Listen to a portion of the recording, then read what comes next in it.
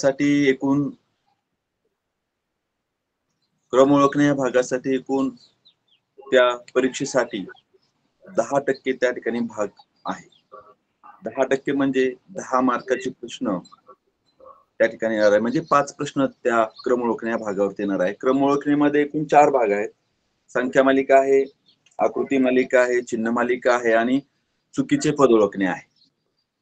या चार भागावरती एकूण पाच प्रश्न येणार आहे. त्याच्यामधील सर्वात महत्त्वाचा जो भाग आहे तो आहे संख्या मालिका. कारण पाठीमागच्या काळामध्ये जर प्रश्नपत्रिकेचा आढावा जर आपण घेतला तर त्याच्यामध्ये प्रत्येक वर्षी प्रत्येक वर्षी किमान दोन प्रश्न किमान दोन प्रश्न हे संख्या मालिकेवरती आपल्याला आढळून येतात.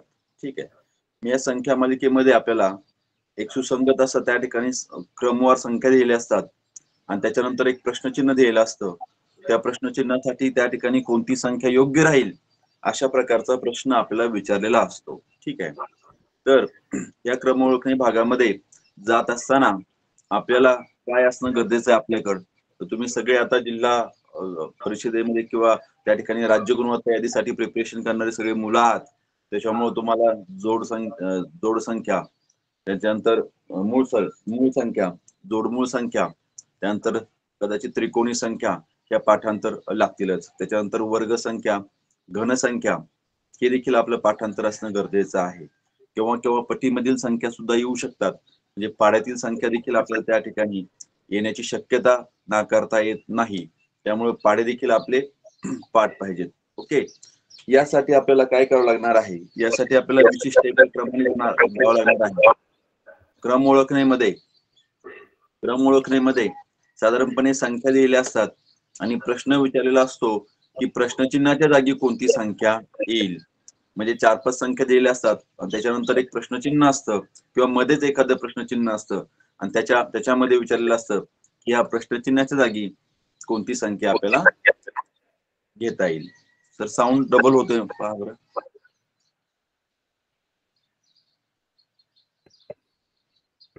ओके. क्रम ओळखण्यामध्ये सर्वात महत्त्वाचा भाग आहे. तो म्हणजे त्या ठिकाणी दिलेल्या संख्यामधील फरक शोधणं आहे. जवळपास एक आता जर पाठीमागच्या प्रश्नपत्रिकांचा किंवा त्या ठिकाणी प्रश्नांचा आढावा घेतलेला आहे परीक्षा परिषदेमार्फत दिलेल्या त्याच्यामध्ये जवळपास सत्तर टक्के प्रश्न हे त्या दोन संख्यांमधील त्या ठिकाणी फरक किंवा त्या ठिकाणी संख्या ज्या दिलेल्या आहे संख्या मालिका जी दिलेली आहे त्याच्यामधला जो फरक आहे तो फरक त्या ठिकाणी आपल्याला प्राधान्याने त्या ठिकाणी करायचा आहे. याच्यामध्ये काय काय असणं गरजेचं आहे? याच्यामध्ये काय करणं गरजेचं आहे? तर या या संख्या मालिकेमध्ये आपल्याला क्रमवार मूळ संख्या येऊ शकतात. क्रमवार मूळ संख्या येऊ शकतात. जसं की दोन तीन पाच सात आणि पुढे प्रश्नचिन्ह असेल तर त्याच्यामध्ये आपल्याला अकरा लिहायचं आहे. कारण त्या ठिकाणी क्रमवार ज्या संख्या दिलेल्या आहेत त्या मूळ संख्या आहेत आणि पुढची मूळ संख्या त्या ठिकाणी अकरा आहे म्हणून त्याचं उत्तर अकरा येईल. जुळ्या मूळ संख्या दिलेल्या असतात कदाचित. जुळ्या मूळ संख्यांचा क्रम दिलेला असतो. तो क्रम त्या ठिकाणी आपल्याला एखादा एखाद्या जागी प्रश्नचिन्ह असतं. त्या प्रश्नचिन्हाच्या जागी चढत्या क्रमाने किंवा उतरत्या क्रमाने त्या जुळ्या मूळ संख्या त्या ठिकाणी आपल्याला लिहायच्या आहेत. सगळ्यात महत्वाचं म्हणजे क्रम ओळखण्यामध्ये. क्रम ओळखण्यामध्ये सगळ्यात महत्त्वाचा भाग आहे की त्या संख्यांमध्ये दिलेल्या संख्यांमधील फरक काढायचा आहे. ज्यावेळेस आपण दिलेल्या संख्यांमध्ये फरक काढतो त्यावेळेस हे प्रश्न प्रकार अत्यंत त्या ठिकाणी सोपा होऊन जातो हे लक्षात ठेवायचं आहे. ठीक आहे? त्याच्यानंतर घरसंख्या दिलेल्या असतील वर्गसंख्या दिलेल्या असतील त्यांच्या जवळपासच्या संख्या त्या ठिकाणी देऊ शकतात. हे देखील आपल्याला पाहायचं आहे. त्यानंतर त्या ठिकाणी शेजारच्या संख्यांची बेरीज आहे का वजबाकी आहे का गुणाकार आहे की भागाकार आहे हे आपल्याला पाहायचं आहे. अपूर्णांक सुद्धा दिलेले असतात या प्रश्नामध्ये. मग अपूर्णांकामध्ये छेदा छेदामध्ये तुलना करायची अंशांशामध्ये तुलना करायची आहे. बरोबर. अंशाने छेदाची बेरीज करायची आहे अंशाने छेदाची वजबाकी करायची आहे. अंशाने छेदाचा गुणाकार देखील करावा लागेल काही काही प्रसंगी. म्हणजे अशा प्रकारे क्रम ओळखण्यामध्ये या संख्या येऊ शकतात किंवा हा क्रम लागू शकतो. त्याच्यानंतर आहे संख्यांचा चढता क्रम असतो. काही ठिकाणी संख्यांचा उतरता क्रम असतो. त्याच्याबाबतचे सगळे उदाहरण आपण त्या ठिकाणी घेणार आहोत. त्यानंतर त्या ठिकाणी जर संख्यांमधील आपण फरक काढलेला आहे संख्यांमधील फरक काढल्यानंतर पहिल्या संख्येमधील जे अंक आहेत त्या अंकाची ती बेरीज असू शकते. त्या अंकाचा तो गुणाकार असू शकतो. त्या अंकाची ती त्या ठिकाणी त्या संख्या ज्या आहेत त्या संख्यांमधील अंकांची ती वजाबाकी असू शकते फरक. त्या अंकांचा त्या ठिकाणी एकक स्थानचा जो अंक आहे त्या संख्यांमधील एकक स्थानचा जो अंक आहे त्या अंकाचा त्या ठिकाणी वर्ग देखील फरक असू शकतो. अशा प्रकारे आपल्याला काही उदाहरणं मी घेणार आहेत. शक्यतो प्राधान्याने त्या ठिकाणी पाठीमागच्या परीक्षांमध्ये आलेले जे उदाहरणं आहेत ते आपण घेणार आहोत तिथं त्याचे ते तुम्हाला त्या ठिकाणी फायदेशीर पडतील. ठीक आहे? तर त्या ठिकाणी आपण दोन हजार अठरा दोन हजार एकोणावीस दोन हजार वीस दोन हजार एकवीस अशा परीक्षांसाठी आलेले जे प्रश्न आहेत ते प्रश्न आपण प्राधान्याने घेणार आहोत. ठीक आहे? पण लक्षात मात्र एक ठेवायचे क्रम ओळखण्यामध्ये संख्यांमधील फरक काढणं हा जो भाग आहे तो अत्यंत महत्त्वाचा आहे. तो अत्यंत महत्त्वाचा भाग आहे की संख्यांमधील फरक आपल्याला काढायचा आहे क्रम ओळखण्यामध्ये ओके? तर आपण याच्यानंतर आता डायरेक्ट जाऊ दोन हजार अठराला जे जे प्रश्न आलेले आहेत त्या त्या संदर्भात जाणार आहोत.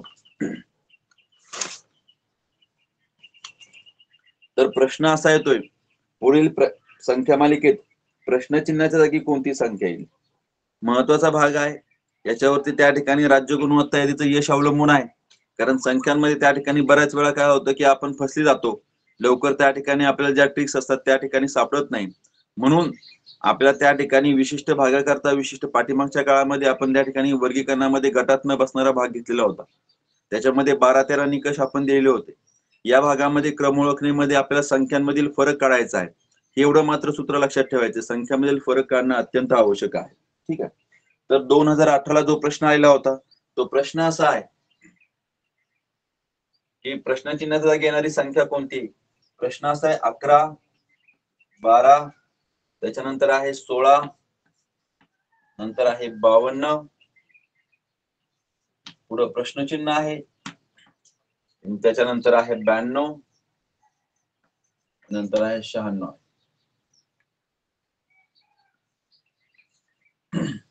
तर अशा प्रकारचा प्रश्न आहे आपल्याला की या प्रश्नचिन्हाच्या जागी येणारी संख्या कोणती आहे? मग साधारणपणे आपल्याला काय करायचं मित्रांनो?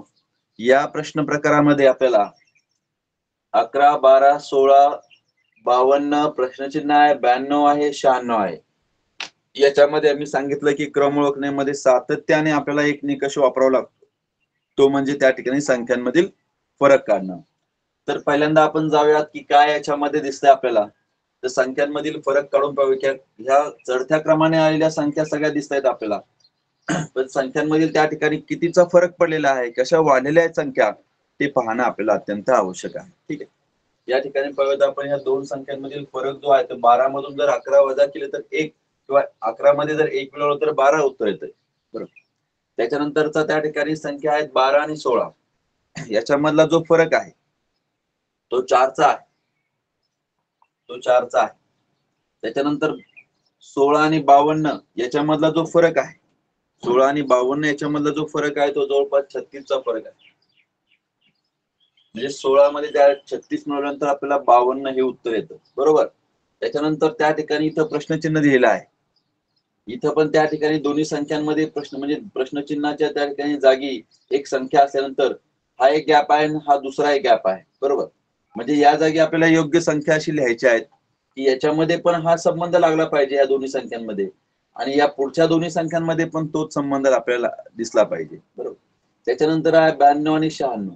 तर याच्यामध्ये साधारणपणे आपल्याला चारचा फरक दिसतोय.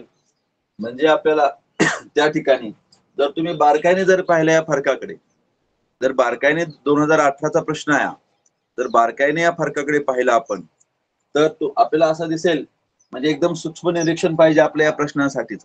बरोबर? आपल्याला असं दिसेल की ह्या सगळ्या वर्ग संख्या आहेत फरक जो आहे तो वर्ग आहे. इथं त्या ठिकाणी एकचा वर्ग इथं दोनचा वर्ग इथं सहाचा वर्ग इथं परत दोनचा वर्ग. वर्ग संख्यांचा फरक असला तरी चालेल परंतु त्या ठिकाणी तो फरक मात्र क्रमवार आलेला नाही. म्हणजे कसं एकचा दोनचा तीनचा चारचा वर्ग संख्यांचा फरक त्या ठिकाणी क्रमवार आलेला नाही. मग अशा प्रश्नांमध्ये काय करायचं आहे? या प्रश्नांमध्ये त्या ठिकाणी ज्या संख्या दिलेल्या आहेत त्या संख्यांची त्या ठिकाणी काही बेरीज करून त्याचा वर्ग आहे का? त्याची वजाबाकी करून त्याचा वर्ग आहे का? हे आपल्याला शोधावं लागेल. कारण वर्ग संख्या तर फायनल फायनली आपल्याला त्या ठिकाणी कळतंय की याच्यामध्ये काहीतरी वर्ग संख्यांचा संबंध आहे. काहीतरी कुठतरी संबंध आहे. कारण सगळ्या ह्या एक चार छत्तीस आणि चार या सगळ्या वर्ग संख्या आहेत. बरोबर? मग आपण पाहूयात काय करायचंय? की एक आणि एक समजा दोन. इथं तर काय त्या ठिकाणी उत्तर दोन मिळतं इथं तर वर्ग त्या ठिकाणी एकचाच आहे. मग आपल्याला एक ही संख्या याच्यातून कशी निवडता येईल? इथं त्या ठिकाणी दोनचा वर्ग दोन ही संख्या कशी निवडता येईल? इथं छत्तीस आहे सहाचा वर्ग त्या ठिकाणी कसा त्या ठिकाणी आपल्याला सहा कसं येईल याच्यामधनं? इथं त्या ठिकाणी चार आहे. दोनचा वर्ग त्या ठिकाणी आपल्याला कसा मिळेल? दोन्ही संख्या कुठे मिळेल? तर बारकाईने पाहिल्यानंतर आपल्या लक्षात येईल की या संख्येच्या या क्रम क्रमवार संख्या ज्या दिलेल्या आहेत त्या संख्येच्या एकक स्थानी एकक स्थानी आपला त्या ठिकाणी या जो अंक आहे त्या अंकांचा हा वर्ग आहे. म्हणजे एकचा वर्ग त्या ठिकाणी एक आहे. म्हणून त्या ठिकाणी फरक तिथं एक मध्ये एकचा वर्ग एक अकरा मध्ये एक बारा झालेले आहेत. बरोबर? बारा मध्ये त्या ठिकाणी एकक स्थानी दोन आहे. दोनचा वर्ग चार आहे. बारा मध्ये त्या ठिकाणी चार मिळवले सोळा आलेला आहे. बरोबर? सोळा ही संख्या घेतल्यानंतर त्या ठिकाणी त्याचा त्या ठिकाणी एकक स्थानी सहा आहे. त्या सहाचा वर्ग छत्तीस आहे. सहा सहाचा वर्ग छत्तीस आहे. सोळा मध्ये छत्तीस मिळवल्यानंतर बावन्न ही संख्या येते. अशा प्रकारे एकक स्थानावरील जे अंक आहे त्यांचे वर्ग करून ते ह्या संख्येमध्ये मूळ संख्येमध्ये ते मिळवलेले आहेत. मग पुढची संख्या आपल्याला आलेली आहे. मग अशाच प्रकारे ते सूत्र वापरून आपण या ठिकाणी बावन्न आणि त्या ठिकाणी पुढे काय येणार आहे? बरं पुढची संख्या आल्यानंतर परत ती पुढची संख्या घेऊन आपल्याला काय करायचं आहे? परत ब्याण्णव उत्तर आलं पाहिजे आपलं. आणि इथं पुढे पाहिलं तर आपण ब्याण्णवमध्ये त्या ठिकाणी एक एक स्थानी दोन आहे. तर दोनचा वर्ग त्या ठिकाणी चार. म्हणजे ब्याण्णवमध्ये जर चार मिळवले तर शहाण्णव उत्तर येतं. म्हणजे फरकावरून लक्षात आलं आपल्या की या ठिकाणी फरक हा वर्ग संख्येचा फरक आहे. बरोबर? मग आपण काय करणार आहोत? आता याच्याकडे जाऊयात आपण. त्या बावन्नमध्ये जर एक एक सरी पाहिलं तर दोन आहे. दोन आहे. दोनचा वर्ग आहे चार. म्हणजे इथला जो फरक येणार आहे तो चारचा असेल. म्हणजे बावन्नमध्ये जर आपण चार मिळवले तर प्रश्नचिन्हाच्या जागी आपल्याला काय मिळत आहे छप्पन्न आहे बरोबर. छप्पन्न ही संख्या मिळते. छप्पन्न ही संख्या प्रश्नचिन्हाच्या जागी मिळते. परंतु तसं या ठिकाणी लगेच लगेच उत्तराकडे आलोय आपण. पर्याय लिहिलाय असं न करता इथं इथला सुद्धा गॅप चेक करणं आपल्याला गरजेचं आहे. छप्पन्न आणि ब्याण्णवमध्ये कितीचा फरक आहे साधारणपणे? तो छत्तीसचा फरक आहे. मग छत्तीसचा फरक आहे. तर त्या ठिकाणी ती वर्ग संख्या आहे सहाची. मग या ठिकाणी छप्पन्नमध्ये जो सहा एक स्थानचा त्याची ती वर्ग संख्या बरोबर? म्हणजे अशा प्रकारे आपण एखाद्या प्रश्नाकडे जात असताना क्रम ओळखण्यामध्ये किमान किमान क्रम ओळखण्यामध्ये संख्यांमधील फरक पाहणं अत्यंत आवश्यक आहे. हा एकच मुद्दा त्याच्यामध्ये मी हायलाइट करणार आहे ह्या तासिकेमध्ये की संख्यांमधील त्या ठिकाणी क्रम ओळखत असताना त्याच्यामधला फरक पाहणं अत्यंत आवश्यक आहे. ठीक आहे? हा दोन हजार अठराला आलेला प्रश्न आहे. म्हणजे अशा प्रकारचे त्या ठिकाणी तुम्हाला प्रश्न आल्यानंतर तुम्ही पहिल्यांदा त्या ठिकाणी चढता क्रम आहे संख्यांचा. त्याच्यामध्ये काही विशिष्ट संबंध आहे का? अकराचं बारा बाराचं त्या ठिकाणी सोळा सोळाचं बावन्न बावन्नचं त्या ठिकाणी पुढं काय? ठीक आहे तो जो गॅप आहे तो गॅप कितीने वाढलेला आहे? है की नाही? तो त्या ठिकाणी त्याचा जो फरक आहे तो कसा त्या ठिकाणी वाढत गेलेला आहे? हेच कळणं आपल्याला गरजेचं आहे. म्हणून संख्यांमधील फरक काढणं अत्यंत आवश्यक आहे. दोन हजार अठराला मित्रांनो आणखी एक प्रश्न आला म्हणजे या घटकावरती या घटकावरती किमान किमान दोन प्रश्न तरी येतात दरवर्षी. त्या ठिकाणी दोन प्रश्न येतात. म्हणून चार मार्कांचा हा त्या ठिकाणी घटक आहे. आता आपण त्या ठिकाणी मार्कावरती बोलणार आहोत कारण त्या ठिकाणी राज्य गुणवत्ता यादीसाठी दोनशे ऐंशी प्लस मार्क लागतात. दोनशे ऐंशी दोनशे ब्याऐंशी दोनशे चौऱ्याऐंशी. म्हणजे आपल्याला चूक होऊन जमणार नाही. ओके? आपल्याला चूक करून त्या ठिकाणी जमणार नाही. दोन हजार अठराचा प्रश्न आणखी एक प्रश्न आहे. हा दोन हजार अठराचे प्रश्न आहेत.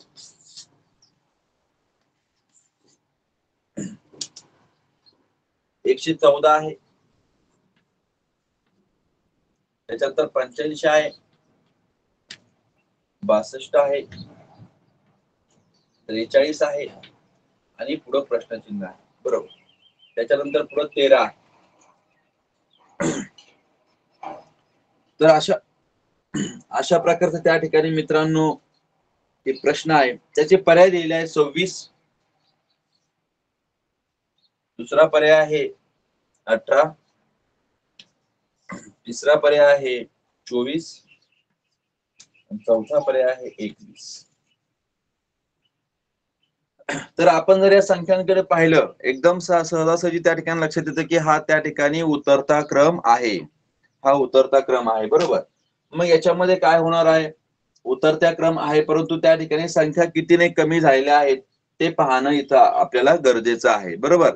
मग या ठिकाणी पाहिलं एकशे चौदा मधून पंच्याऐंशी त्या ठिकाणी जर वजा केल्या आपण फरक जर त्याच्यामधील काढला तर तो फरक येतो एकोणतीसचा एकोणतीसचा फरक येतोय. एकोणतीस. म्हणजे एकोणतीस ही संख्या मायनस केली आहे याच्यामधनं. त्यावेळेस पंच्याऐंशी संख्या आलेली आहे. बरोबर. म्हणजे ह्या ठिकाणी फरक करण्यासाठी एकशे चौदातून पंच्याऐंशी तुम्हाला वजा करावं लागतील. त्यावेळेस त्या ठिकाणी एकोण एकोणतीसचा फरक येईल. संख्या कमी झालेल्या आहेत. म्हणजे संख्या त्या ठिकाणी वजा केलेल्या आहेत. ओके? कोणत्या तरी संख्या त्या ठिकाणी वजा केल्या आहेत. पंच्याऐंशी आणि बासष्टमध्ये पाहिलं आपण तर त्याच्यामध्ये तेवीस तेवीस ही संख्या वजा केली आहे. या दोघांमध्ये त्या ठिकाणी तेवीस ही संख्या वजा केली दिसते. तुम्ही जर पुढे गेलात तर त्याच्यामध्ये जर पाहिलं आपण तर बासष्ट आणि त्रेचाळीसमध्ये काय आहे नेमकं? तर कितीने संख्या कमी झालेली आहे? तर आपल्याला त्या ठिकाणी एकोणवीसनी संख्या कमी झालेली आहे म्हणून मायनस हे सांगितलेले आहे. त्या ठिकाणी वजाचं चिन्ह का दिलंय? कारण ही संख्या कमी झालेली आहे. बरोबर? बासष्ट मधून त्या ठिकाणी कमी झालेली आहे संख्या. एकोणवीस ज्यावेळेस कमी होईल त्यावेळेस त्रेचाळीस ही संख्या भेटेल. मग या ठिकाणी जर सहजच पाहिलं आपण म्हणजे इतक्या फॅमिलीयर पाहिजेत आपल्याला मूळ संख्या जोडमूळ संख्या वर्ग संख्या घन संख्या त्रिकोणी संख्या. की पाहता क्षणी आपल्याला कळलं पाहिजे की हा त्या ठिकाणी मूळ संख्यांचा भाग आहे. हा त्या ठिकाणी वर्ग संख्यांचा भाग आहे. हा घन संख्यांचा भाग आहे. पाहता क्षणी कळलं पाहिजे आपल्याला. तर एकोणतीस तेवीस आणि एकोणावीस हे काय दिसतंय? तर ह्या त्या ठिकाणी काय आहेत? मूळ संख्या आहेत. या सगळ्या मूळ संख्या आहेत.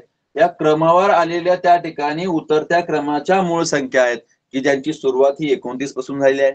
एकोणतीस आहे तेवीस आहे एकोणवीस आहे. मग पाठीमागची संख्या कोणती येईल त्या ठिकाणी उतरत्या क्रमाने? तर त्या ठिकाणी आपल्याला इथं सतरा ही संख्या लिहावी लागेल सतरा. तर वजा सतरा ज्यावेळेस आपण करू त्रेचाळीस मधनं त्यावेळेस आपल्याला उत्तर येईल सव्वीस. या प्रश्नचिन्हाच्या जागी उत्तर येईल आपलं सव्वीस. सव्वीस हे उत्तर येईल आपलं. परंतु त्या ठिकाणी लगेच उदाहरण झाले माझं मी लगेच उदाहरण सोडतो असं नाही. आपलं त्या ठिकाणी आपण दिलेली संख्या बरोबर आहे का? याच्यासाठी आपल्याला काय करावं लागेल? या सव्वीस आणि तेरा मध्ये सुद्धा फरक कितीचा आहे पाहावा लागेल. बरोबर? म्हणजे आपण त्याचा एक पडताळा घेतोय पुढच्या त्या ठिकाणी संख्यांच्या फरकामधनं. तर सव्वीस आणि तेरा मधला जो फरक आहे तो आहे तेरा. त्या ठिकाणी बरोबर उत्तर आहे आपलं. की त्या मूळ संख्यांचा हा त्या ठिकाणी उतरता क्रम आहे. एकोणतीस तेवीस सतरा एकोणावीस सतरा तेरा. म्हणजे तेरा सतरा एकोणावीस तेवीस एकोणतीस असं आपलं पाठांतर आहे. परंतु आपल्याला या ठिकाणी काय करायचंय? उलट दिशेने प्रवास करायचा आहे. हे दोन्ही उदाहरणातून आपल्याला मित्रांनो असं कळतं की दोन्ही उदाहरणामध्ये आपला जो त्या ठिकाणी क्रम ओळखण्यामध्ये दोन हजार अठराचे जे प्रश्न आहेत त्याच्यामध्ये जे दिलेल्या संख्या आहेत त्या संख्यांमधला फरक आपल्याला काढणं आवश्यक आहे. बरोबर? त्याच्यामध्ये पहिल्या उदाहरणामध्ये पाहिलं आपण की काय केलं आहे पहिल्या उदाहरणामध्ये आपल्याला वर्ग संख्यांचे फरक दिलेले आहेत. की ज्या वर्ग संख्या ह्या संख्यांच्या दिलेल्या संख्यांच्या एकक स्थानच्या अंकाचे वर्ग आहेत. एकक स्थानच्या अंकाचे वर्ग आहेत. त्यानंतर दुसरा जर संख्या दिलेली असेल त्याच्यामध्ये दुसरी जी क्रम मालिका आहे संख्या मालिका आहे त्याच्या दुसरा जो प्रश्न आहे त्याच्यामध्ये त्या ठिकाणी आपल्याला पाहिलं तर ह्या दोन्ही संख्यांमध्ये येणारा जो फरक आहे तो मूळ संख्यांचा फरक आहे. तर अशा प्रकारे हा दोन हजार अठराचे प्रश्न आहेत. आता आपण जाऊया दोन हजार एकोणवीसच्या प्रश्नाकडे. प्रश्नांची रचना कशी असते त्या ठिकाणी आपण पाहतोय. काय करायचं आहे? घाबरून न जाता कुठलंही कन्फ्युजन न होता आपल्याला या ठिकाणी अशा प्रकारे प्रश्नांकडे जायचं आहे. ओके दोन हजार एकोणीस चे सुद्धा दोन दोन प्रश्न आहे म्हणजे हा जो भाग आहे तो अत्यंत तो अत्यंत महत्त्वाचा आहे. दरवर्षी किमान दरवर्षी किमान दोन प्रश्न या भागावरती येतातच. बरोबर. दोन हजार एकोणीसचा प्रश्न जर आपण पाहिले तर त्याच्यामध्ये पहा काही प्रश्न अत्यंत सोपे आहेत. काही प्रश्न अत्यंत सोपे आहेत. लॉकडाऊनच्या काळातले काही प्रश्न आहेत ते सोपे होते परंतु आता मात्र काठीण्य पातळी वाढलेली दिसते आपल्याला की नाही? पाठीमागच्या दोन वर्षापासून परीक्षेची काठीण्य पातळी निश्चितपणे वाढलेली आहे. एकशे एकवीस एकशे एकोणसत्तर दोनशे पंचवीस दोनशे एकोणऐंशी.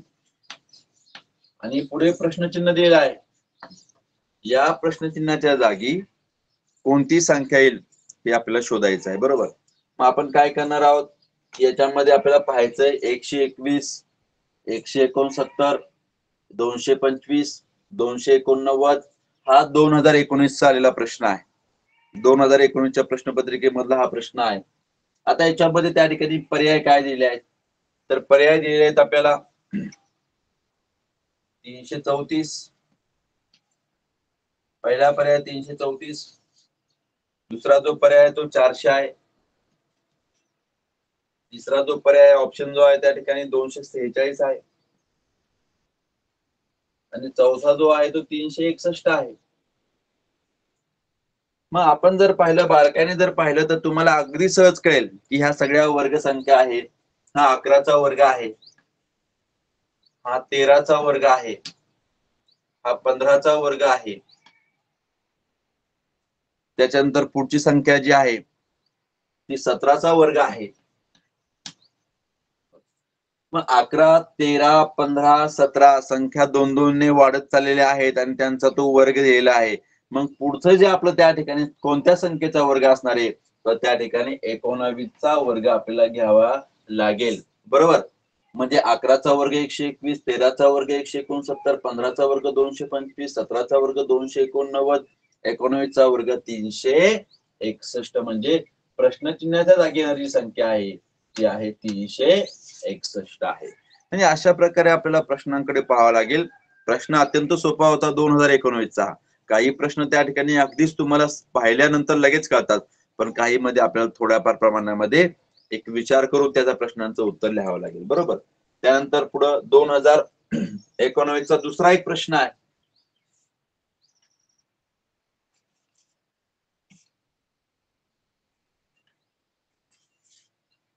दुसरा एक प्रश्न आहे दोन हजार एकोणावीसचा. तो आपण पाहणार आहोत. ठीक आहे? प्रश्न आहे की तेरा त्याच्यानंतर पुढची संख्या आहे सतरा पंचवीस बत्तीस सदतीस. पुढं आहे प्रश्नचिन्ह.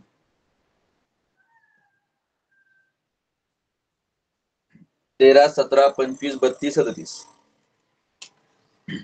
क्रम ओळखणे आहे ना? प्रश्नचिन्हाच्या जागी कोणती संख्या येईल? असा प्रश्न आहे. मग याच्यामध्ये मित्रांनो काय करायचं आहे? मी पहिल्यांदा सांगितलेलं आहे की क्रम ओळखण्यामध्ये तुम्हाला फरक काढणं अत्यंत आवश्यक आहे. आपण त्या ठिकाणी फरक काढला पाहिजे. ह्या मूळ संख्या काही मूळ आहेत काही त्या ठिकाणी संयुक्त संख्या आहे त्यामुळे मूळ संयुक्त वगैरे असं काय त्या ठिकाणी सातत्याने मूळ संख्या येतात. असं काय आपल्याला दिसत नाही तर बरोबर? म्हणून फरक फरक करायचा याच्यामध्ये चालेला आहे चारचा फरक आहे. म्हणजे चारने संख्या वाढलेली आहे. ही जी संख्या आहे पुढची आठने वाढलेली आहे. सतरा मध्ये ज्यावेळेस आपण आठ मिळू त्यावेळेस आपलं उत्तर पंचवीस येईल. पंचवीसमध्ये ज्यावेळेस आपण सात मिळूया त्या ठिकाणी उत्तर बत्तीस येईल. म्हणजे फरक दोघी दोन्ही संख्यांमधला फरक हा सात आहे. फरक वाढत चाललेला आहे. ठीक आहे. सॉरी म्हणजे फरक त्या ठिकाणी येऊन संख्या वाढत चाललेल्या आहेत. बत्तीस आणि चौतीसमध्ये या ठिकाणी पाचचा फरक आहे. म्हणजे संख्या त्या ठिकाणी वाढत चाललेली आहे. पाचनी संख्या वाढलेली आहे. म्हणजे या संख्या मालिकेमध्ये संख्या वाढत चाललेल्या आहेत आणि त्या पहिल्या पहिल्या पहिली संख्या मध्ये चारनी चारनी वाढ होऊन दुसरी संख्या आली आहे. दुसऱ्या संख्येमध्ये आठने वाढ होऊन तिसरी संख्या आली आहे. तिसऱ्या संख्येमध्ये सातने वाढवून चौथी संख्या आली आहे. चौथ्या संख्येमध्ये त्या ठिकाणी पाचने वाढवून पाचवी संख्या आली आहे. मग आता हा जर फरक पाहिला तर चार आठ सात पाच. अरे ह्या फरकामध्ये तर काही त्या ठिकाणी आपल्याला विशिष्ट क्रम लागत नाही. त्याच्यामध्ये काही क्रमबद्धता नाही दिसत आपल्याला. मग अशा वेळेस त्या ठिकाणी जर दोन हजार अठराचे प्रश्न पाहिले आपण तर एकक स्थानच्या अंकाचा वर्ग केला होता त्यांनी. बरोबर? मग याच्यामध्ये तसं आहे का काही? ह्या ज्या संख्या दिलेल्या आहेत याच्यामध्ये ते आहे का काही संबंध? की हा चार कास कसा येऊ शकतो या संख्येमधनं? हा आठ या सतरा मधनं कसा येऊ शकतो? हा सात हा त्या पंचवीस मधनं कसा येऊ शकतो? तुम्हाला जर काही दिसेल दिसत असेल तर पहा. त्याच्यामध्ये जर आपण बारकाईने विचार केला तर या दोघांची बेरीज म्हणजे एक आणि तीन या संख्येमधील अंकांची बेरीज जी आहे ती चार आहे. म्हणजे एक आणि तीनची बेरीज त्या ठिकाणी चार आहे म्हणून चारने त्या ठिकाणी संख्या वाढलेली आहे. म्हणजे या संख्येमध्ये त्या संख्येतील अंकांची बेरीज मिळून पुढची संख्या आलेली आहे. बरोबर? पुढचं जर पाहिलं एक आणि सातची त्या ठिकाणी बेरीज आहे. म्हणजे आपल्याला केव्हा केव्हा संख्यांमधील बेरीज घ्यावा लागेल कधी कधी संख्यांमधील फरकामध्ये वजाबाकी येऊ शकते कधी कधी ह्या दोन संख्यांमधील त्या ठिकाणी अंकांमधील गुणाकार असू शकतो फरक बरोबर. कधी केव्हा केव्हा भागाकार पण येऊ शकतो केव्हा केव्हा फरक हा त्या ठिकाणी मूळ संख्या येऊ शकतो बरोबर. हा कधी कधी वर्ग संख्या येऊ शकतो त्रिकोणी संख्या येऊ शकतो अशा प्रकारे त्या ठिकाणी आपल्याला प्रश्नाकडे पाहावा लागेल. मग ह्या पंचवीस पंचवीसमध्ये दोन आणि पाचची बेरीज किती? सात आलेली आहे. मग सात जर पंचवीसमध्ये मिळवले त्यात बत्तीस उत्तर येते आपलं. त्या बत्तीसमध्ये जर पाहिलं तर तीन आणि दोनची त्या ठिकाणी बेरीज आहे अंकांची. तीन आणि दोनची बेरीज जर केली तर पाच येते. बत्तीसमध्ये पाच मिळवलेला आहे. बत्तीसमध्ये पाच मिळवल्यानंतर आपलं उत्तर सदतीस येते. त्याच प्रकारे जर आपण पुढे गेलो तर त्याच्यामध्ये जर येतं आपल्याला तीन आणि सातची बेरीज त्या ठिकाणी दहा आहे. म्हणजे आपल्याला यांची जर बेरीज केली तर ती दहा येते. म्हणून आपला जो पुढचा फरक असणार आहे तो दहाने त्या ठिकाणी दहाचा असणार आहे आणि दहाने संख्या वाढणार आहे. म्हणजे आपलं जे उत्तर येणार आहे ते येणार आहे सत्तेचाळीस. हे उत्तर आपलं प्रश्नचिन्हाच्या जागी येणार आहे सत्तेचाळीस. लक्षात आलं तुमच्या? याच्यामध्ये फरक कशा प्रकारे त्या ठिकाणी कशा प्रकारे फरक आलेला आहे? की अंक संख्येतील अंकांची बेरीज या ठिकाणी आपल्याला पाहावयास मिळते. अशा प्रकारे दोन हजार एकोणीस ला देखील दोन प्रश्न आले होते. आता मी तुम्हाला दोन हजार वीसच्या प्रश्नांकडे घेऊन जाणार आहे. त्यावेळेस सुद्धा दोन प्रश्न आलेले होते. म्हणजे दोन हजार अठराला दोन प्रश्न आले दोन हजार एकोणीस ला दोन प्रश्न आलेत दोन हजार वीस ला देखील दोन प्रश्न आलेले या घटकावरती म्हणजे घटक महत्त्वाचा आहे.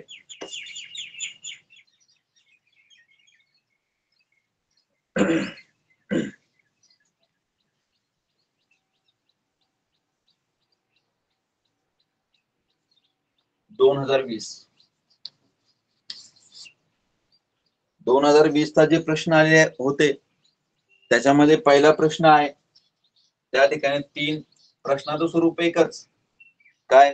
की प्रश्नचिन्हाच्या जागी येणारी संख्या कोणती आहे? प्रश्नचिन्ह दिलेलं असतं त्या ठिकाणी शेवटी असेल किंवा मध्ये असेल प्रश्नचिन्ह दिलेलं असताना प्रश्नचिन्हाच्या जागी कोणती संख्या आहे तीन आहे चार आहे सात आहे त्याच्यानंतर आहे दहा पंधरा बावीस एकतीस आणि पुढं प्रश्नचिन्ह आहे. पुढं प्रश्नचिन्ह आहे. पर्याय दिलेले आपल्याला. सेहेचाळीस. दुसरा पर्याय दिलेला आहे. चाळीस. तिसरा आहे चव्वेचाळीस आहे. आणि चौथा जो पर्याय दिलेला आहे तो आहे बेचाळीस. तर अशा प्रकारचा हा अशा प्रकारचा हा प्रश्न आहे.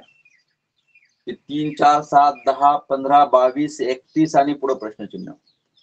आता याच्यामध्ये एक गोष्ट लक्षात ठेवायची की ज्यावेळेस जास्तीच्या संख्या येतात जास्त संख्या येतात त्या प्रश्नामध्ये त्यावेळेस समस्थानच्या संख्यांमध्ये काही क्रम असतो विषम स्थानच्या संख्यांमध्ये वेगळा क्रम असतो. इथे जर आपण संख्या जर पाहिल्या तर एक दोन तीन चार पाच सहा सात सात संख्या दिल्या आहेत.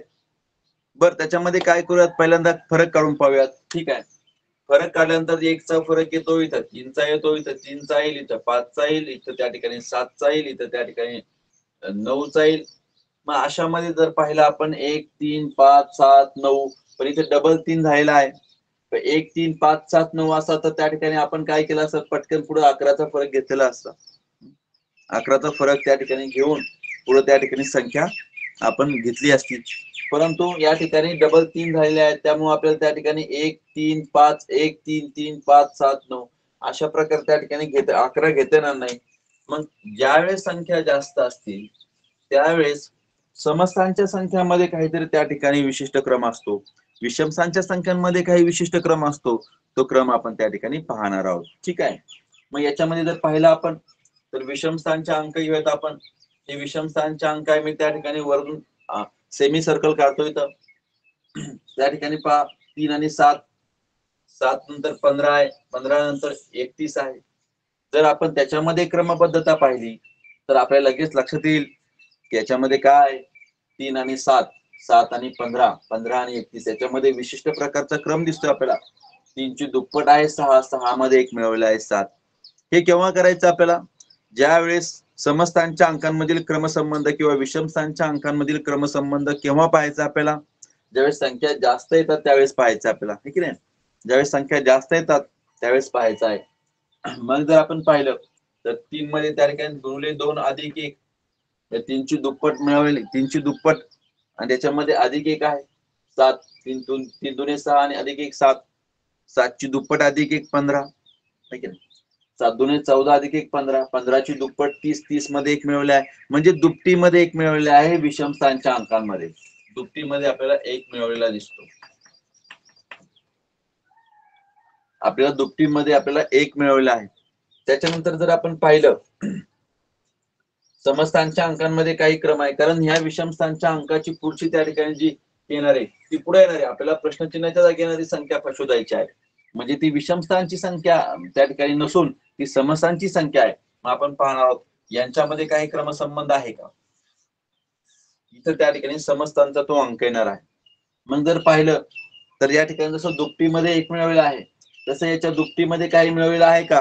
ते पाहणं गरजेचं आहे. बरोबर? मग चार आणि दहा चारची जर दुप्पट केली आठ आठमध्ये जर दोन मिळवले तर दहा उत्तर येतं. तसंच पुढं आहे का? दहाची दुप्पट केली वीस वीसमध्ये दोन मिळवले बावीस उत्तर आलेलं आहे. मग याच्यामध्ये पहा तुम्ही काय प्रश्नाचं उत्तर येऊ शकतो. त्या ठिकाणी गुणुले दोन अधिक दोन आहे की नाही? म्हणजे इथं जसं दुपटीमध्ये एक मिळवला इथे दुपटीमध्ये दोन मिळवायचे आहेत आपल्याला. विषमस्थानच्या अंकामध्ये त्या ठिकाणी दुपटीमध्ये एक मिळवलेला आहे. समस्थानच्या अंकामध्ये दुपटीमध्ये काय करायचे? दोन मिळवायचे आहेत. त्यानंतर पुढचा त्या ठिकाणी संख्या आपल्याला येईल. त्याच्यामध्ये पहा आता चार. म्हणजे ही अंक इथपर्यंत आहेत. इथून पुढे संख्या त्या ठिकाणी झालेल्या आहेत. चार चारमध्ये जर पाहिलं आपण चारची दुप्पट किती? आठ आठ आठ अधिक दोन दहा. बरोबर. दहा उत्तर आलेला आहे. दहाची दुप्पट केली दहा गुणले दोन अधिक दोन. दहा दोन वीस. म्हणजे त्या ठिकाणी गुणले दोन अधिक दोन. वीसमध्ये त्या ठिकाणी दोन मिळवले. बावीस उत्तर आलेला आहे. आता बावीसमध्ये त्या ठिकाणी आपण काय करणार आहोत? दुप्पट करणार आहोत. बावीसची दुप्पट करणार आहोत. त्याच्यामध्ये अधिक दोन बावीसची दुप्पट आली चव्वेचाळीस चव्वेचाळीसमध्ये जर आपण दोन मिळवले या संख्येमध्ये जर दोन मिळवले तर त्या ठिकाणी उत्तर सेहेचाळीस येतं. म्हणजे आपलं उत्तर पर्याय क्रमांक एक सेहेचाळीस आहे. परंतु मित्रांनो केव्हा केव्हा काय होईल की ज्यावेळेस एखादा विद्यार्थी आहे तो काय म्हणेल की या प्रश्नाचं उत्तर मला असं न करता वेगळ्या पद्धतीने करायचं आहे. कसं करायचं आहे की याच्यामध्ये त्या ठिकाणी सहाचा फरक आहे म्हणजे प्लस सहा झालेले आहेत. बरोबर? याच्यामध्ये त्या ठिकाणी प्लस बारा झालेले आहेत. मग एखादा म्हणाले सहा झाला इथं बारा झाला इथं त्या ठिकाणी इथं चोवीस का नाही येणार? बरोबर. तर त्या ठिकाणी बावीसमध्ये ज्यावेळेस आपण चोवीस मिळवू त्यावेळेस देखील आपलं त्या ठिकाणी उत्तर काय येणार आहे? तर उत्तर आपलं सेहेचाळीसच येणार आहे. ओके. म्हणजे याची जी फरक आहे त्या फरकाची दुप्पट घेतलेली आपण सहाची दुप्पट बारा बाराची दुप्पट चोवीस. अशा प्रकारे सुद्धा उत्तर ते त्या ठिकाणी येईल. म्हणजेच दोन हजार एकोणवीसचा जो प्रश्न होता त्या प्रश्नामध्ये संख्या दिल्या होत्या त्या संख्या जास्त होत्या. अशा वेळेस आपल्याला काय करायचंय की समस्थानावरील संख्यांमध्ये काही त्या ठिकाणी संबंध आहे का? विषम स्थानावरील संख्यांमध्ये काही संबंध आहे का? तो असतोच. तो आपल्याला भेटतो ज्यावेळेस संख्या जास्त असतात त्यावेळेस तो निश्चित प्राधान्याने असतो. दोन हजार वीसच्या त्या ठिकाणी दोन हजार वीसचा नंतरचा प्रश्न मी तुम्हाला देणार आहे. तो असा आहे. दोन हजार वीसचा दुसरा प्रश्न असा आहे. चौदा आहे. सोळा आहे. एकोणवीस आहे. चोवीस आहे. त्याच्यानंतर एकतीस आहे. बेचाळीस आहे पंचावन्न आहे आणि पुढे प्रश्नचिन्ह आहे. इथे सुद्धा संख्या जास्त झालेल्या आहेत. सात संख्या झालेल्या आहेत. पण लगेचच्या लगेच आपण समस्थानावरील अंक घ्यायची संख्या घ्यायची आणि विषम स्थानावरील अंक संख्या घ्यायची असं नाही. पहिल्यांदा याच्यामध्ये काय तुम्हाला क्रम दिसतो का? सोळा चौ चौदा सोळा एकोणावीस चोवीस एकतीस बेचाळीस पंचावन्न आणि पुढे प्रश्नचिन्ह आहे. मग याच्यामध्ये जर आपण पाहिले तर संख्या ह्या त्या ठिकाणी चढत्या क्रमाने सर्व संख्या लावलेल्या आहेत. बरोबर? मग याच्यामध्ये साधारणपणे कितीने संख्यांची वाढ झालेली आहे ते पहिल्यांदा पाहूयात आपण. संख्या कितीने वाढलेल्या आहेत? पहिली संख्या ज्या आहेत पहिल्या संख्येमध्ये किती मिळवल्यानंतर दुसरी आली? पहिल्या संख्येमध्ये त्या ठिकाणी दोन मिळवले आहेत. जर त्या ठिकाणी आपल्याला फरक जर आला नाही तर आपण सम आणि विषम स्थानावरील संख्यांचा त्या ठिकाणी संबंध घेणार आहोत. लक्षात घ्या. ठीक आहे? मग याच्यामध्ये दोन मिळवले आहेत. दुसऱ्या आणि तिसऱ्या संख्येमध्ये त्या ठिकाणी जो फरक आहे तो तीनचा आहे. सोळा मध्ये तीन मिळवले एकोणावीस आलेले आहेत. एकोणावीसमध्ये त्या ठिकाणी पाच मिळवल्यानंतर चोवीस येतात. दोन तीन पाच. लक्षात येते का काय? त्या ठिकाणी पहिल्या दोन तीन भागांमध्येच लक्षात येऊन जातं. त्या ठिकाणी काय? आहे की हा जो फरक आहे तो मूळ संख्याच्या मध्ये दिलेला आहे. बरोबर? मग याच्यानंतर त्या ठिकाणी पुढचा जो आहे ते चोवीसमध्ये सात मिळवले एकतीस आलेले आहे एकतीसमध्ये त्या ठिकाणी अकरा मिळवले आहेत. बेचाळीस आलेले आहेत. बेचाळीसमध्ये त्या ठिकाणी तेरा मिळवले आहेत. पंचावन्न आले आहेत. म्हणजे अशा प्रकारे आपण जर पाहिलं तर त्या ठिकाणी ह्या संख्या कशा वाढत गेल्या आहेत? या संख्या त्या ठिकाणी मूळ संख्या ज्यावेळेस त्यांच्यामध्ये मिळवलेल्या आहेत क्रमाने येणाऱ्या मूळ संख्या मिळवल्या आहेत त्यावेळेस त्या वाढत गेल्या आहेत. म्हणजे पहिल्या संख्येमध्ये दोन मिळवले दुसऱ्या संख्येमध्ये तीन मिळवले तिसऱ्या संख्येमध्ये पाच मिळवले चौथ्या संख्येमध्ये सात मिळवले. मग दोन तीन पाच सात अकरा तेरा ह्या मूळ संख्या आहेत बरोबर? मग मूळ संख्या पुढची मूळ संख्या जर पाहिली आपण ती सतरा येते. मग पंचावन्नमध्ये काय मिळवलं पाहिजे? त्या सतरा मिळवले पाहिजे पंचावन्नमध्ये त्यावेळेस आपल्याला पुढचं त्या ठिकाणी संख्या येणार आहे. ती म्हणजे पंचावन्नमध्ये ज्यावेळेस आपण सतरा मिळवू त्यावेळेस आपलं उत्तर येतील बहात्तर. त्या प्रश्नाचं उत्तर बहात्तर आहे. इथं प्रश्न चिन्ह होत. दोन हजार वीस चे प्रश्न आहे म्हणजे तुमच्या लक्षात आलं असेल की त्या ठिकाणी दोन हजार वीसमध्ये दोन प्रकारचे जे उदाहरणं दिलेले होते त्या दोन्ही प्रकारच्या उदाहरणामध्ये संख्या जास्त दिल्या होत्या. परंतु एकामध्ये समविषम स्थानचा त्या ठिकाणी संबंध लावलेला होता. समविषम स्थानच्या संख्यांचा. आणि दुसऱ्या दुसऱ्या उदाहरणामध्ये मात्र त्या ठिकाणी त्यांच्यातील फरक हा त्या ठिकाणी मूळ संख्या आहे. असा संबंध लावलेला होता. म्हणजे त्या ठिकाणी कन्फ्युजन वाढवलेलं होतं जास्ती प्रमाणामध्ये. कारण आपण विचार करतो की संख्या जास्त आल्यानंतर सम विषम स्थानचा विचार करायचा आहे. बरोबर? परंतु एक उदाहरण त्या पद्धतीने. आणि मुलं काय करत असतात त्यावेळेस मग? याच्यामध्ये सुद्धा सम विषम स्थानचा त्या ठिकाणी संबंध लावत बसतात मित्रांनो. तर तो संबंध फारसा या ठिकाणी उपयुक्त राहत नाही. तर अशा वेळेस आपल्याला काय करायचंय? अशा वेळेस आपल्याला त्या ठिकाणी काही संख्यांमध्ये काही संख्या मालिकामध्ये फरक काढायचा आहे आणि काही संख्या मालिकेमध्ये समविषमचा त्या ठिकाणी क्रम आपल्याला लक्षात घ्यायचा आहे. समविषम संख्यांचा समविषम स्थानावरील संख्यांचा स्थानावरील संख्यांचा.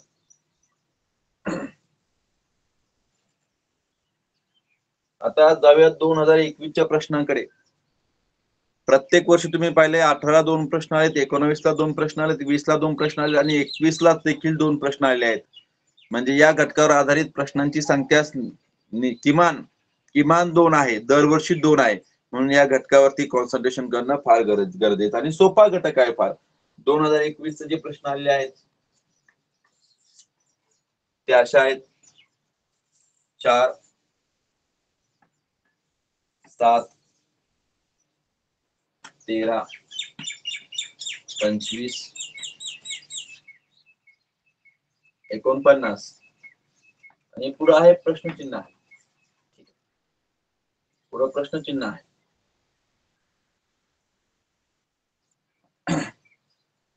जर या उदाहरणाकडे जर आपण पाहिलं चार सात तेरा पंचवीस आणि एकोणपन्नास. काय दिसतंय बरं आपल्याला या उदाहरणामध्ये त्या ठिकाणी? या उदाहरणामध्ये जर आपण जरी फरक जरी काढला तरी आपल्याला त्या ठिकाणी लगेच लक्षात येईल की प्रत्येक उदाहरण क्रम ओळखण्यामध्ये प्रत्येक उदाहरण फरकाच्या माध्यमातून आपण सोडू शकतो. फक्त त्या ठिकाणी मूळ संख्या जर वर्ग संख्या घनसंख्या आले तर तो भाग थोडासा वेगळा आहे.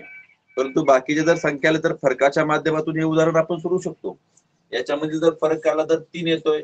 याच्यामध्ये फरक काढला तर सहा येतोय. दोन्ही तेरा आणि सात मधील फरक. याच्यामधील फरक काढला तर तो बारा येतोय. याच्यामध्ये चोवीस येतोय. म्हणजे जर आपण फरकाकडे लक्ष दिलं तर याच्यापेक्षा एक कमी आहे. बरोबर? या सात पेक्षा एक कमी फरक आहे. या तेरा तेरा मध्ये त्या ठिकाणी बारा मिळवले आहे या पंचवीसमध्ये चोवीस मिळवले आहेत. मग एकोणपन्नासमध्ये काय मिळवणार? एकोणपन्नासमध्ये त्या ठिकाणी अठ्ठेचाळीस मिळावं लागेल आपल्याला.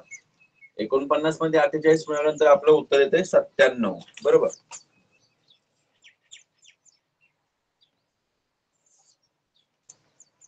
सत्त्याण्णव हे आपलं उत्तर येते म्हणजे जर आपण जर दुसरा एक भाग पाहिला एखादा विद्यार्थी म्हणजे आपण याच्यामध्ये काय करूयात की चारची दुप्पट आहे आठ त्याच्यातून एक वजा केला आहे. म्हणजे याच्यामध्ये जर पाहिलं तर गुणिले दोन वजा एक आहे.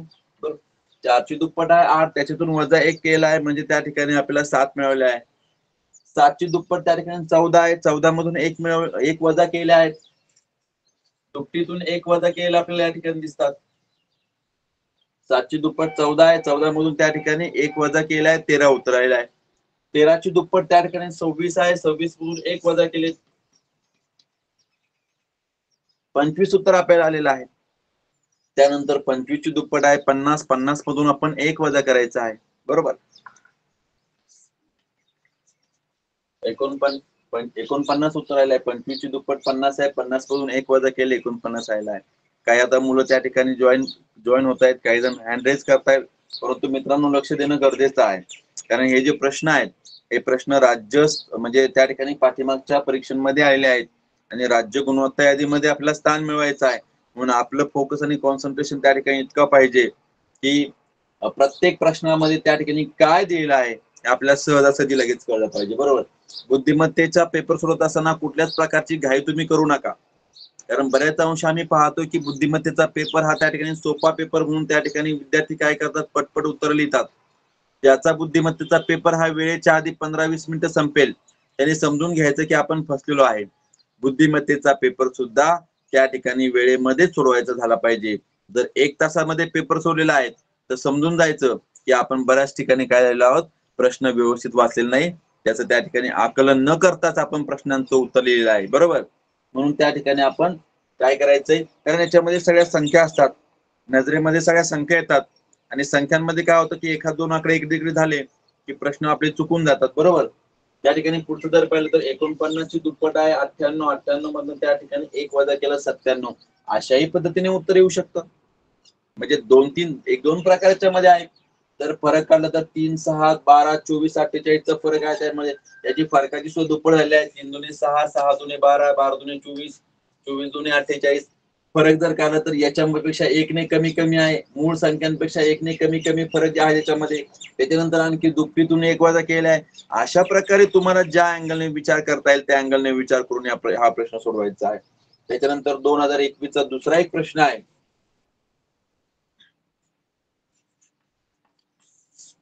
दोन हजार एकवीसचा दुसरा एक प्रश्न आहे. तो प्रश्न आहे की तेरा पंधरा एकोणावीस सत्तावीस आणि पुढे आहे प्रश्नचिन्ह आहे. हा दोन हजार एकवीस चा आलेला प्रश्न आहे. तेरा सतरा एकोणावीस आणि सत्तावीस. मग साधारणपणे प्रश्नचिन्हाच्या जागी येणारी जर संख्या आपल्याला शोधायची असेल तर डोक्यामध्ये आपल्या एक पाहिजे की काय की मला फरक काढायचा त्यांच्या मधला फरक कसा करायचा काय फरक आहे? इथं दोनचा फरक आलेला आहे. इथं त्या ठिकाणी चारचा आहे. इथं आठचा फरक आहे. अरे हा तर फरक काय झालेला वाढत चाललेला आहे. बरोबर? मग त्या ठिकाणी दोन मध्ये त्या ठिकाणी दोन चार आठ आणि सोळाचा फरक आपण पटकन आपल्या लक्षात येईल की आपण काय करायचं? सोळाचा फरक. फरक दुप्पट दुप्पट होत चाललेला आहे. सोळाचा फरक घेतला आपण याच्यामध्ये सोळा मिळवले तर त्या ठिकाणी आपलं उत्तर येत आहे आपलं उत्तर येतात त्रेचाळीस परंतु पर्यायामध्ये त्रेचाळीस उत्तर नाही. पर्यायामध्ये उत्तर जे आहेत त्याच्यामध्ये पस्तीस आहे दुसरा आहे सदतीस आहे सत्तावीस आहे सॉरी सदतीस आहे सत्तावीस किंवा सत् काही तिसरा आहे बत्तीस आहे आणि चौथा आहे तीस आहे. इथं त्या ठिकाणी सत्तावीस असतात. असे त्या ठिकाणी पर्याय आहेत. मग आपण जर विचार केला की अरे दोन दोनच्या दुप्पट चार आलाय चारच्या दुप्पट आठ आलाय आठच्या दुप्पट सोळा सत्तावीसमध्ये सोळा मिळवले त्या ठिकाणी उत्तर येईल परंतु उत्तर मिळत नाही आपल्याला. मग अशा वेळेस त्या ठिकाणी योग्य पाहायचं आपल्याला पाहणी करायची की अरे हा दोन फरक कशामुळे आलेला आहे इथं? अजिबात ट्रॅक बदलू नका कुठल्याही प्रकारे त्या ठिकाणी डिस्टर्ब त्या ठिकाणी हा प्रश्न तुम्हाला करण्याची शक्यता आहे अजिबात डिस्टर्ब होऊ नका कारण का तुमच्या दुपटीच्या फरकाची दुप्पट तुम्हाला एकदा तुम्ही केले आहेत. तो बसत नाही त्या ठिकाणी ती संख्या मॅच होत नाही. अशा वेळेस तुम्ही काय केलं पाहिजे की हा जो दोन जो फरक आलेला आहे तो संबंध काय आहे? तेराचा संबंध काय आहे दोनशी? या दोनशे तेराचा संबंध काय? या चारशे पंधराचा संबंध काय? या आठशे एकोणीसचा संबंध काय? त्यानंतर पुढचा जो फरक येईल तो या संबंधाने आपल्याला करायचा आहे बरोबर? मग तेरा मध्ये जर पाहिलं आपण तर तेरा मध्ये एक आणि तीन आहे. एक आणि तीन. बारकाने पाहिलं या याचा दोनशे संबंध काय? मी सांगितलंय. की अशा वेळेस ज्यावेळेस फरक येईल अनिश्चित येईल त्यावेळेस फरक. त्या संख्यांमधील फरक जो आहे त्याच्यामध्ये क्रमबद्धता नसेल अशा वेळेस तुम्ही काय करायचंय? त्या संख्यांची बेरीज या संख्येतील अंकांची बेरीज करायची आहे. या संख्येतील अंकांची वजाबाकी करायची आहे. या संख्येतील अंकांची गुणाकार करायचा आहे. या संख्येतील अंकांचा त्या ठिकाणी भागाकार करायचा आहे. या संख्येतील अंकाच्या एकक स्थानामध्ये काय लिहिलं आहे ते सुद्धा पाहायचं आपल्याला. बरोबर? मग जर पाहिलं आपण बेरीज केली तर नाहीत बेरीज वजाबाकी केली तर येतं इथं. तेरा मध्ये त्या ठिकाणी एक आणि तीन आहे तीन आणि एक ची जर वजाबाकी केली तर दोन येते म्हणजे दोनचा फरक इथं आलेला आहे. इथं पंधरा मध्ये पहा एक आणि पाच मध्ये त्या ठिकाणी पाहिले आपण की पाच मधनं एक गेले ते फरक चार येतोय. म्हणजे या ठिकाणी संख्येतील अंकांची वजाबाकी जो फरक आहे तो आलेला आहे. बरोबर? अंकांची वजाबाकी म्हणजे तो फरक आहे. एकोणीसमध्ये त्या ठिकाणी नऊ आणि एक ची वजाबाकी केली तर आपलं उत्तर आठ येते म्हणजे आठचा फरक आहे. तसंच आता इथनं पुढे त्या ठिकाणी सात आणि दोन ची जर वजाबाकी केली तर उत्तर त्या ठिकाणी पाच येईल म्हणजे फरक पाच येईल म्हणजे सत्तावीसमध्ये जर आपण पाच मिळवले तर या प्रश्नचिन्हाच्या जागी आपलं उत्तर येईल बत्तीस. म्हणून या ठिकाणी आपला पर्याय क्रमांक तिसरा हा बरोबर आहे. ठीक आहे. म्हणजे अशा प्रकारे दोन हजार अठरा एकोणावीस वीस एकवीस चे उदाहरण आपण पाहिले आहेत. मित्रांनो त्याच्याही पलीकडे जाऊन त्या ठिकाणी काही उदाहरणं येण्याची शक्यता आहे. काही सोपे उदाहरणं येतात काही अवघड उदाहरण त्या ठिकाणी येतात. सोपे म्हणजे दिसताक्षणी ज्याचं उत्तर येऊ शकतं. वर्गसंख्या डायरेक्ट दिलेल्या आहेत उत्तर येऊ शकतं. परंतु असे प्रश्न जर पाहिले आपण तर त्याच्यामधला आपल्याला साधारणपणे क्रमसंबंधामध्ये फरक लक्षात घेऊन तो फरक त्या मूळ संख्येशी काय त्या ठिकाणी त्याचा संबंध आहे का? त्याची बेरीज आहे का त्या मूळ संख्येच्या अंकांची? त्याची वजबाकी आहे का? त्याचा गुणाकार आहे का? त्याचा भागाकार आहे का? हे आपल्याला निश्चितपणे पाहावं लागेल. बरोबर? त्याच्यानंतर काही त्या ठिकाणी क्रमवार संख्या कशा वाढत चाललेल्या आहेत? की वाढत चाललेल्या आहे उतरत्या क्रमाने आहे की चढत्या क्रमाने हे देखील पाहावं लागेल. त्याच्यामध्ये फरक हा मूळ संख्या तो का पाहावा लागेल काही वर्ग संख्या आहेत का पाहावं लागेल घनसंख्या पाहावं लागेल. म्हणजे याच्या पलीकडे असं म्हणजे बुद्धिमत्तेमध्ये फारसं असं काही वेगळं नाही. संख्या मालिकेमध्ये फारसे वेगळे भाग नसतात. त्याच्यामधील पाड्यातील संख्या येऊ शकतात काय आहे की नाही? पाड्यातील संख्या येऊ शकतात. आता एखादं दुसरं उदाहरण आपण घेणार आहोत पाड्यातील संख्यांचं. हे दोन हजार एकवीस पर्यंतचे उदाहरण त्या ठिकाणी मी समजून सांगितलं आहे तुम्हाला. एखाद्या वेळेस काय उदाहरण येते पहा. पाड्यातील संख्यांबाबत त्या ठिकाणी उदाहरण घेऊयात आपण. पटकन लक्ष देण्यासारखा प्रश्न आहे. फारसं काय त्याच्यामध्ये अवघड नाही. नऊ आहे. सत्तावीस आहे. त्याच्यानंतर पुढचा आहे. पंचेचाळीस आहे. त्रेसष्ट आहे. आणि मग प्रश्नचिन्हाच्या जागी येणारी संख्या कोणती आपल्याला लक्षात घ्यायचं म्हणजे प्रश्न आहे. प्रश्नचिन्हाच्या जागी येणारी संख्या कोणती आहे? तर याच्यामध्ये जर आपण पाहिलं तर नऊ सत्तावीस पंचेचाळीस त्रेचाळीस त्रे- त्रे- त्रेसष्ट सॉरी नऊ सत्तावीस पंचेचाळीस त्रेसष्ट. याच्यामध्ये जर आपण पाहिलं नऊचा हा त्या ठिकाणी पाडा आहे बरोबर. तर नऊचा पाडा आहे. नऊ त्रिक सत्तावीस नवा पाचशे पंचेचाळीस नवा साती त्रेसष्ट नवा नवा एक्क्याऐंशी. एटी वन कोणीतरी उत्तर दिलं एटी वन. अगदी त्या ठिकाणी सुंदर हो आदित्य आदित्यने खूप चांगल्या प्रकारे उत्तर दिले आहे. की एटी वन याचं उत्तर आहे. या पाड्यातील संख्या आहे म्हणजे याच्यामध्ये फरक काढण्याची प्रत्येक वेळेस आवश्यकता नाही. काही त्या उदाहरण काही उदाहरणामध्ये तुम्हाला लगेच समजून जाईल की कसं उदाहरण आहे. परंतु नाही समजलं तर त्याच्यामध्ये फरक काढायचा आहे तो फरक फक्त त्या ठिकाणी संख्यांमधील अंकांची बेरीज आहे का अंकांची वजबाकी आहे का अंकांचा गुणाकार आहे का एक एक स्थानच्या अंकाचा वर्ग वगैरे आहे का हे सगळं पाहून घ्या. याच्या पलीकडचा प्रश्न फार नाही. ज्या ज्या- जास्त संख्या ज्यावेळेस येतील एक सात आठ संख्या आलेल्या आहेत अशा वेळेस तुम्ही फरक काढून देखील तुम्हाला उत्तर आलं नाही. त्यावेळेस समस्थानच्या अंकांचं त्या ठिकाणी काय करायचे? त्याचा ते काहीतरी संबंध असतो. विषमस्थानच्या अंकांचा संबंध असतो हे मात्र लक्षात ठेवा. ठीक आहे. त्याच्यानंतर पुढं पुढचं उदाहरण घेतोय आपण एक. रोमन संख्यामध्ये देखील त्या ठिकाणी प्रश्न असे येऊ शकतात. आय पी नंतर आय एक्स एल आणि पुढे प्रश्नचिन्ह आहे. तर रोमन संख्या जर पाहिल्या आपण रोमन संख्या जर पाहिल्या आपण तर त्याच्यामध्ये त्या ठिकाणी ज्या संख्या आहेत रोमन संख्या आय व्ही एक्स एल जी रोमन संख्या चिन्ह आहेत ती रोमन संख्या चिन्ह त्या ठिकाणी क्रमाने चढत्या क्रमाने दिलेली आहेत ही रोमन संख्या चिन्ह. म्हणजे छोटं रोमन संख्या चिन्ह आहे आय आहे त्याला आपण एक म्हणतोय की व्ही एक्स एल बरोबर? त्याच्यानंतरचं ओके सी आहे. त्याचा अर्थ काय? एक आहे. आता याचा त्या ठिकाणी एक पाच दहा पन्नास असं घेऊन चालणार नाही. आपल्याला त्या ठिकाणी चढत्या क्रमाने रोमन संख्या चिन्ह दिले आहेत. याचं उत्तर त्या ठिकाणी सी आहे. म्हणजे काही खूप प्रज्ञावंत मुलं या ठिकाणी आहेत. सगळेच जण आहेत परंतु त्यातल्यात काही जण प्रश्नांची उत्तरं पटपट देऊ राहिले आहेत. बरोबर? त्याच्यानंतरचा प्रश्न पाहिला आपण एखादा त्या ठिकाणी वेगळा प्रश्न प्रश्न घेऊयात. त्याच्यामध्ये पाच शून्य आहे. हा प्रश्न महत्त्वाचा वाटतो मला ह्यावेळेस. यावेळेस हा प्रश्न मला महत्त्वाचा वाटतोय. कारण का? कारण आतापर्यंत जे प्रश्न विचारलेले आहेत ते फरकावरती आधारित विचारलेले आहेत. आणि यावेळेचा हा हा प्रश्न मी लिहितोय तो प्रश्न महत्त्वाचा वाटतोय. पाहूयात आपण काय त्याच्यामध्ये लपलेला आहे.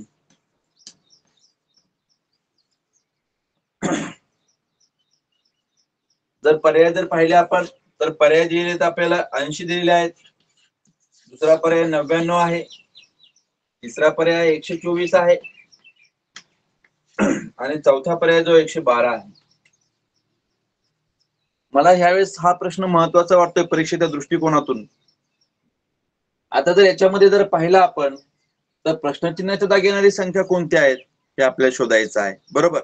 मग याच्यामध्ये पाहणार आहोत आपण की अरे फरक काय आला? याच्यामध्ये सात आला याच्यामध्ये त्या ठिकाणी एकोणावीस आला याच्यामध्ये म्हणजे सात एकोणावीस काय फारसं त्याच्यामध्ये संदर्भ लागत नाही. पण संख्या जवळपासच्या संख्या आहे का कोण? ह्या संख्या ज्या आहेत त्या वर्ग संख्यांच्या जवळपास आहे की घरसंख्यांच्या जवळपास आहे असं त्या ठिकाणी आपल्याला लगेच लक्षात यायला पाहिजे.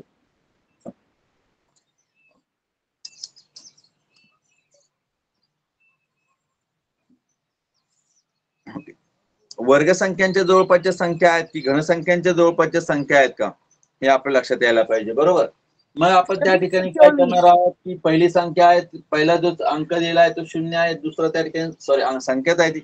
दुसरी संख्या आहे ती सात आहे तिसरी सव्वीस आहे चौथी त्रेसष्ट आहे. या संख्यांमधील गॅप जो आहे तो मोठा आहे. घनसंख्येमध्ये त्या ठिकाणी मोठा गॅप असतो संख्यांमध्ये. बरोबर? मग आपण त्या ठिकाणी जर एकच्या घनचा विचार केला तर एक आहे दोनच्या घन आठ आहे तीनचा घन सत्तावीस आहे चारचा घन चौसष्ट आहे. मग मित्रांनो तुमच्या लक्षात येईल की घनसंख्येतून एक वजा केलाय घनसंख्येतून एक वजा केलाय दुसऱ्या टप्प्यामध्ये तिसऱ्यामध्ये तीनच्या घनातून एक वजा केलाय चारच्या घनामधून एक वजा केलाय. मग आपलं उत्तर काय असेल? आपलं उत्तर असेल त्या ठिकाणी पाचचा जो घन आहे एकशे पंचवीस एकशे पंचवीस म्हणून एक वजा केल्यानंतर त्या ठिकाणी उत्तर येईल एकशे चोवीस. हा प्रश्न त्या ठिकाणी मला म्हणजे वाटतंय की या प्रश्नाबाबत क्या वर्गसंख्याबाबत घनसंख्याबाबत प्रश्न येऊ शकतात ह्यावेळेस. तर अशा प्रकारे आपल्याला काय करायचं आहे की ह्या मालिकेकडे जायचं आहे. खूप सोपा भाग आहे. तुमच्यासाठी तर फार सोपा आहे कारण तुम्ही जिल्ह्यातले सगळे त्या ठिकाणी प्रज्ञावंत विद्यार्थी आहात. बरोबर? म्हणून या प्रश्नाकडे जात असताना आपल्याला विशिष्ट प्रकारचा त्या ठिकाणी निकषामध्ये प्रश्न सोडवायचे क्रम क्रम ओळखण्यामध्ये प्रश्नचिन्हाच्या जागी येणाऱ्या संख्यांमध्ये आपल्याला संख्यांमधील फरक हा काढायचाच आहे हे लक्षात ठेवायचे. या ठिकाणी आठ वाजलेले आहेत बरोबर. तर आपण या ठिकाणी थांब थांबत आहोत. या ठिकाणी मला बोलण्याची संधी दिलेली आहे. तुमच्यासमोर या ठिकाणी मला दुसऱ्यांदा बोलण्याची संधी दिली आहे प्रशासनाने. मी प्रशासनाचे विशेष करून त्या ठिकाणी जिल्हा परिषदचे जे हे आहेत शिक्षण विभागाचे शिक्षणाधिकारी पाटील साहेब. त्यांचे आभार मानतो कुलट मॅडमचे आभार मानतो. आणि जे